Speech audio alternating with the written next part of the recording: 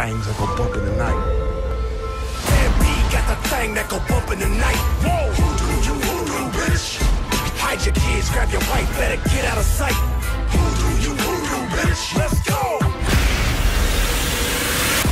My name's Purna, and I'm to tell you about the worst bloody holiday ever.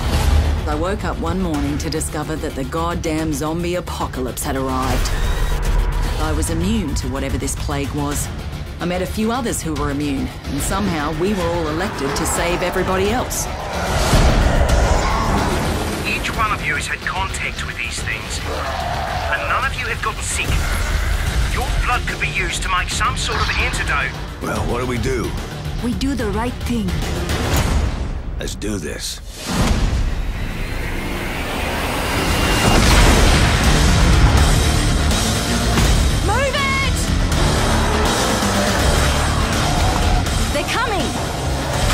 If we're gonna survive, we need to get the hell out of here. My orders are to take you into custody and transport you to a secure quarantine area.